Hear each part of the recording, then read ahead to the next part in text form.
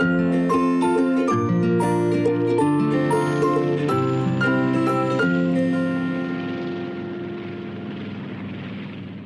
Здравствуйте! И с постом приятным. Это передача для родителей «Учимся растить любовью» и я, Марина Ланская. Сегодня мы отправились в гости в прекрасную священническую многодетную семью и отправились не просто так. Дело в том, что с наступлением Великого Поста к нам приходят однотипные вопросы о том, как же выстроить детский пост. И если раньше мы давали советы, как сделать этот процесс правильно, то сегодня хотим поговорить о практической стороне, в том числе и о тех проблемах, с которыми сталкиваются в этом вопросе обыкновенные семьи. И мы очень рады, что наши сегодняшние участники передачи согласились поделиться своим личным семейным опытом. Добро пожаловать в гости. В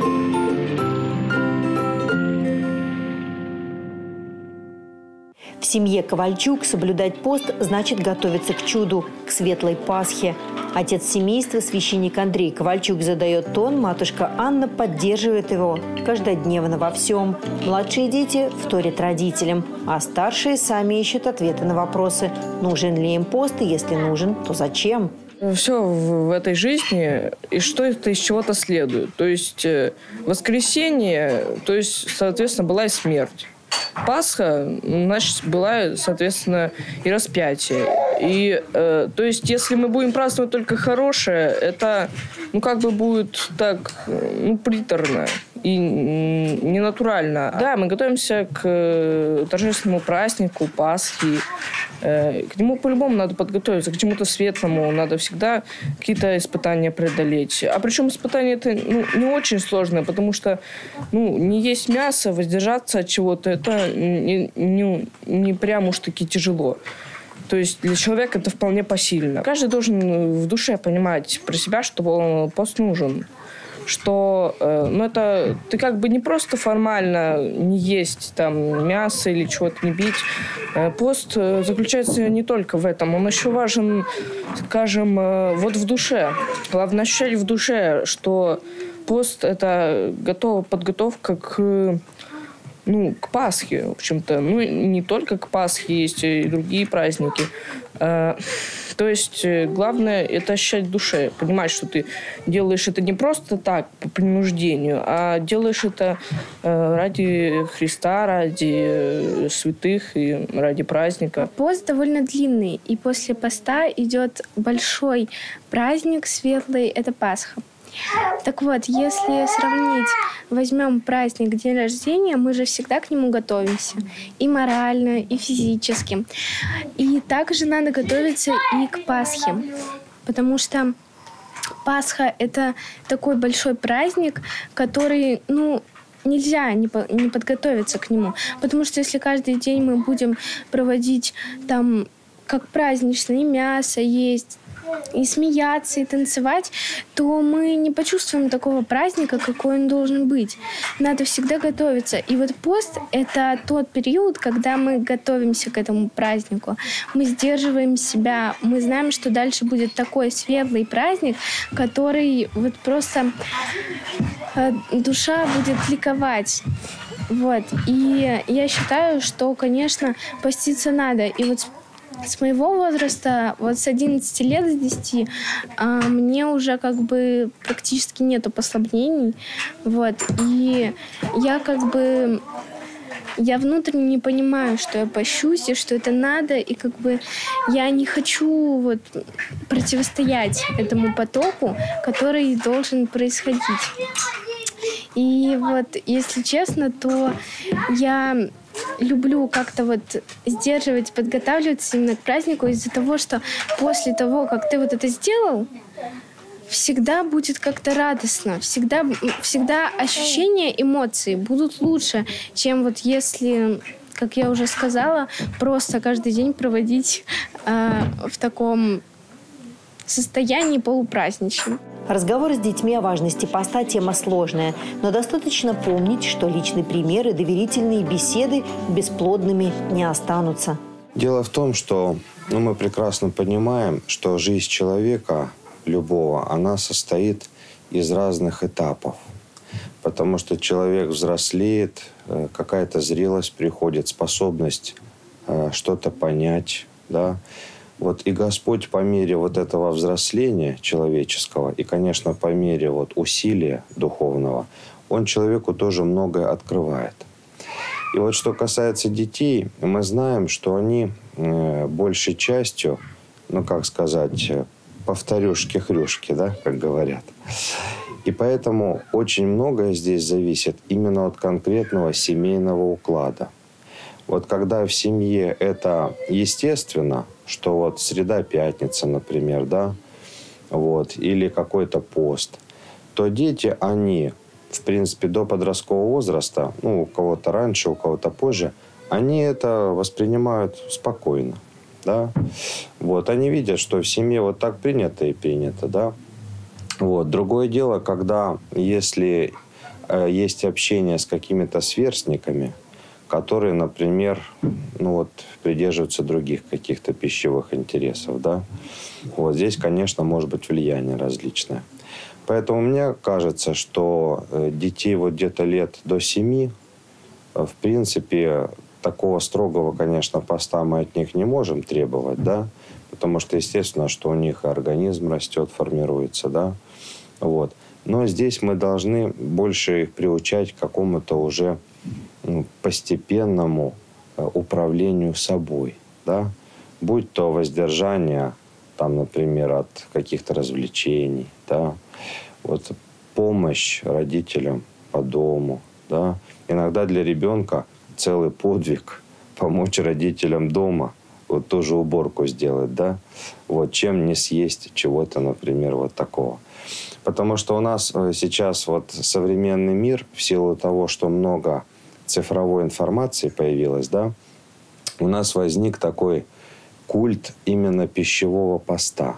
А если мы вспомним вот святоотеческие изречения, то вот Пимен Великий говорил, что мы с вами не тело убийцы, а страстоубийцы, да?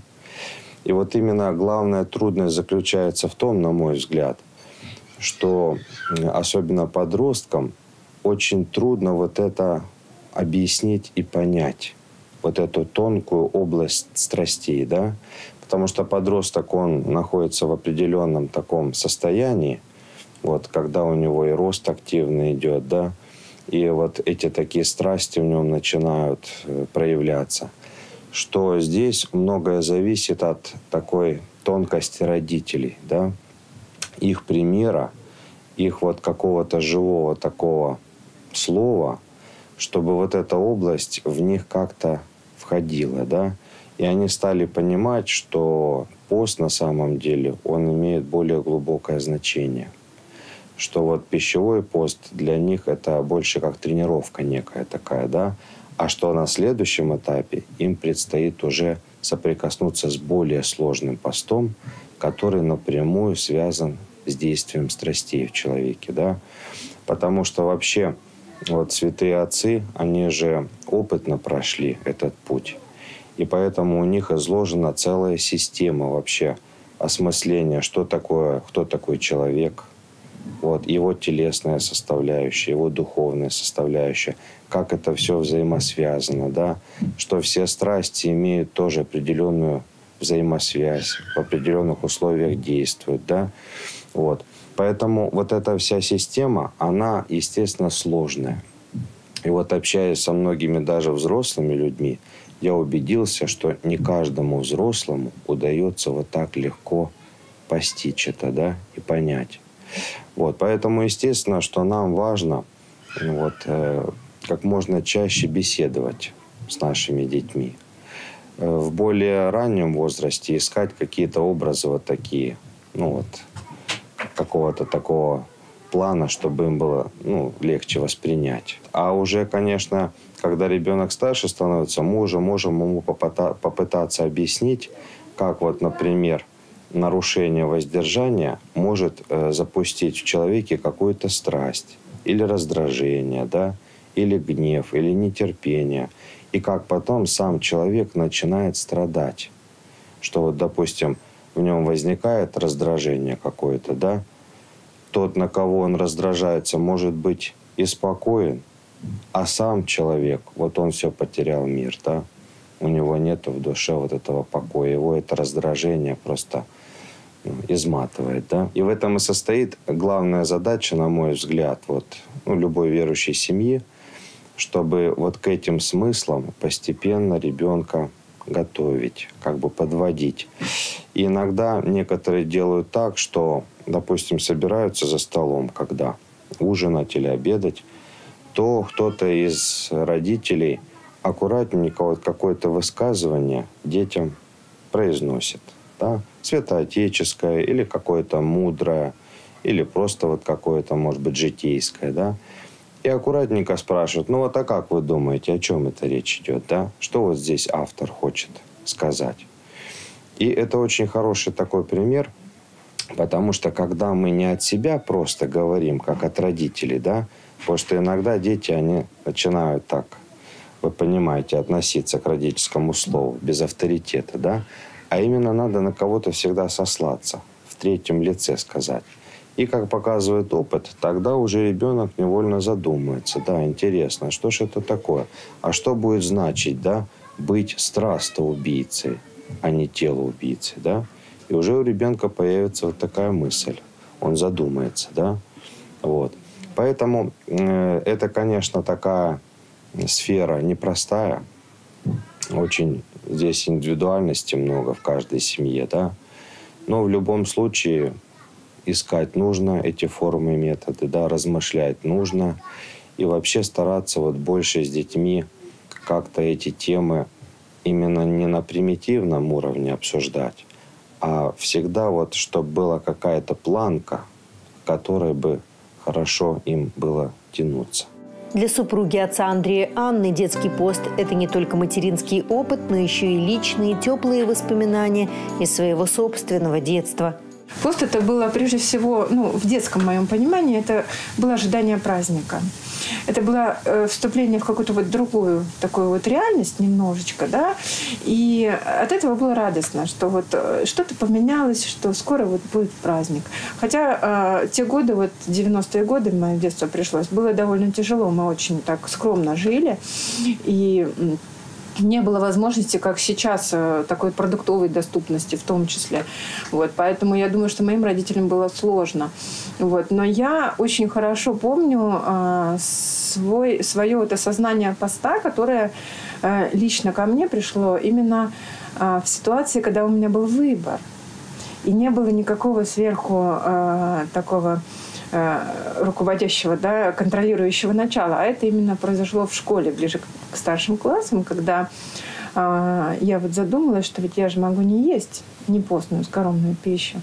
Вот. И это такой вот момент, который мне запомнился, наверное, такой вот э, именно осознанного подхода к посту. Вот. А так мы, да, всегда постились, э, запомнились особые блюда поста вот, э, из детства, которые я часто повторяю в своей семье. Например, э, тушеные овощи со свеклой и иногда и с горохом. Это было очень сытно. Вот. А потом мама моя в пост очень, очень много пекла. И я тоже замечаю, что я тоже очень много пеку, потому что дети хотят, конечно, есть это все. Вот, это такая согревающая такая пища. Вот, а, а, пирожки с капустой, с картошкой, пироги с яблоками. У нас как-то традиционно м, заготовки а, мы делаем на зиму. То есть сушеные яблоки. Самая дорогая заготовка – это сушеные грибы. Вот, сушеные, маринованные, соленые грибы. Вот. У нас дача в Новгородской области. Мы всегда э, вот, как-то... Это не естся сразу, это лежит на пост. Бабушка и дедушка матушки Анны, родители, живущие сейчас по соседству, все были воспитаны в вере. При этом православная традиция, передаваемая из поколения в поколение, не прерывалась никогда. Редкий случай для нашей страны, пережившей 70 лет безбожия. Мне повезло родиться в православной семье, э, которая, в общем-то, традиции э, смогла взять с дореволюционных времен. Вот, поэтому, конечно, пост э, всегда соблюдался. Вот, это как бы даже не обсуждалось. В общем-то, все дети понимали, что такое пост, э, что э, необходимые ограничения. У нас всегда был абсолютный запрет на мясо и мясные продукты. Вот. Э, у нас были послабления на молоко, молочные продукты, ну и, и иногда по воскресеньям у нас была рыба. Вот, по крайней мере, пока были ребята маленькие. Когда они стали немножко постарше уже, э, как бы, то мы э, одно время мы старались, ну, особенно тут 90-е годы, конечно, были голодные, поэтому мы э, постились, наверное, более строго, более строго. Вот, но всегда э, старались э, иметь в виду, что все-таки пост это прежде всего э, как бы ограничение в плане духовном. Вот. Э, ограничение в плане пищевого э, как бы поста это не главное. Главное все-таки э, это более спокойно себя держать, так сказать. Ну вот, если это, когда они были маленькие, что всегда слушаться родителей, вот, друг с другом не спорить, не конфликтовать. Вот, вот это вот э, ставилось прежде всего во главу угла. Воздержание – навык, который современная жизнь пытается полностью вытеснить из сознания людей. И дети, не умеющие себя ограничивать, оказываются в крайне уязвимой позиции. Слово «воздержание» нужно возвращать в их лексикон, а само понятие – прививать подрастающему поколению. Я думаю, это самое главное. Это самое главное, чтобы дети умели и понимали смысл ограничения, да, вот, э, это очень важно, потому что в наших э, условиях, особенно вот в сегодняшней нашей жизни, когда все построено только на развлечениях и удовольствиях, это, это очень важно, архиважно вот, в э, любой семье. Пост – это про что? Это воздержание, да? А воздержание – это про что? Это осознанность. Ведь что сейчас мир нам диктует? Не думай.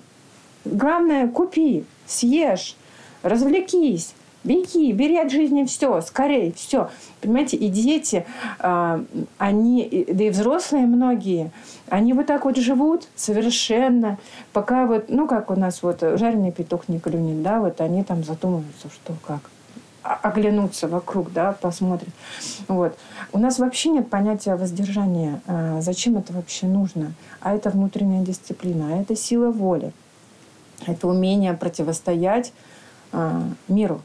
Вообще в какой-то э, иногда очень часто нужна какая-то внутренняя сила, даже внутренняя дерзость где-то противопоставить себя этому миру, который иначе просто поглотит целиком, да, и душу, вот, прежде всего.